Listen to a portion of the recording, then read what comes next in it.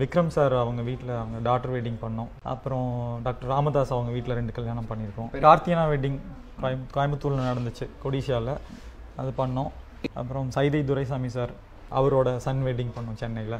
அப்புறம் Rajamouli sir Sun wedding தமிழ்நாட்டில் வந்து இருக்கிற மோஸ்ட் என்ன சொல்கிறது எல்லா டைப் ஆஃப் ஆட்களும் இண்டஸ்ட்ரியலிஸ்ட்டு ஸோ எல்லா அந்த மாதிரி தான் நம்மளோட கிளைண்ட்ஸு அப்புறம் ஒரு கல்யாணத்தில் அவங்க ரெஃபரன்ஸ் மூலமாக தான் அது அப்படியே வந்து நல்லா இருக்கு அப்படின்னு இவங்க இன்னொருத்தவங்கள்ட்ட சொல்றது. அவங்க மூலமா அப்படியே இப்போ பெங்களூரில் லாஸ்ட் வீக் வந்து நந்தீஸ்வர் ரெட்டின்னு சொல்லிட்டு அவங்க எக்ஸ்எம்பி ஸோ அவங்க பொண்ணோட என்கேஜ்மெண்ட் மாதிரி ஒரு ஃபங்க்ஷன் பண்ணோம். ஸோ செம்மொழி மாநாட்டில் நாங்கள் எங்களோட ஒரு ஒரு பார்ட் நாங்கள் உள்ளுக்குள்ளே அந்த விவிஐபிஸ்கோட ஃபுட் வந்து நாங்கள் பண்ணியிருந்தோம். ஸோ இது என்னென்னா ஸ்லோவாக பில்டான ஒரு விஷயம்.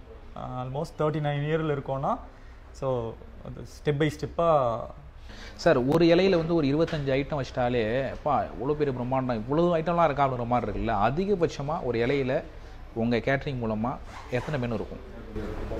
நான்வெஜ் வெஜ்ஜு ஒரு இலையிலன்னு நாங்கள் பார்த்தோம்னா நாங்கள் வந்து ஒரு லீஃப் சர்வீஸ் பண்ணும்போது நாங்கள் லிமிட் பண்ணிடுவோம். ஏன்னா ஒரு அது இலைக்கு அதிகபட்சம் ஒரு எவ்வளவு நாற்பது ஏன்னா அது சாப்பிட்றவங்களுக்கு வந்து அது திகட்டாம திகட்டாம இருக்கும். பஃபேங்கும் போது நாங்கள் வந்து ஒரு நூறு வெரைட்டி வரைக்கும் கூட நம்ம வச்சு பண்ணியிருக்கோம். வெரைட்டிஸ் நிறைய வெரைட்டிஸ் கொடுத்து டிஃப்ரெண்ட் குசைன்ஸை வச்சு நாங்கள் பண்ணியிருக்கோம்.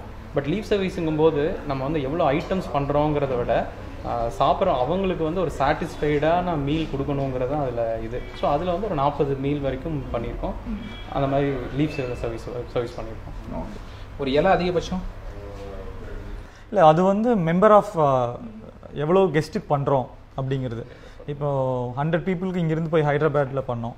ஸோ அதோட காஸ்ட் அரௌண்ட் டென் தௌசண்ட் அப்படி வரும். ஏன்னா வால்யூம் தான். ஸோ நிறைய வால்யூம் பண்ணுறப்போ காஸ்ட் வந்து ரொம்ப ரீசனபிளாக இருக்கும்.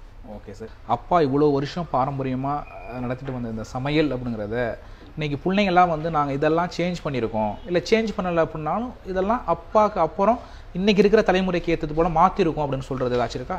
அது நிறைய விஷயம் இருக்குது ஏன்னா இப்போ ஒரு செவன் எயிட் இயர்ஸாக அப்பா வந்து அவர் ஃபுல்லாக ரெஸ்ட்டு ஏன்னா சின்ன வயசுலேருந்து ரொம்ப கஷ்டப்பட்டாங்க.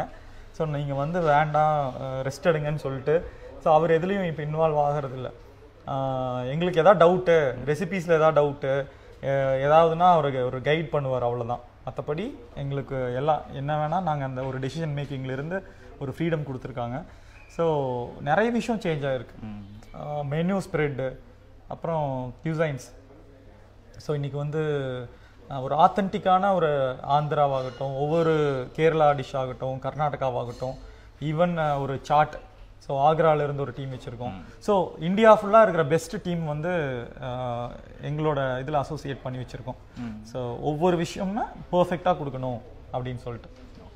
ஓகே சார் அடுத்தடுத்த கட்ட நகர்வுகளுக்கு போய்கிட்டே இருக்கணும். சாரை வந்து அடுத்து எப்போ பணம் வரும் அப்படின்ட்டு எதிர்பார்த்து காத்திருக்கோம். ரொம்ப நன்றி. ரெண்டு பேருக்கும்.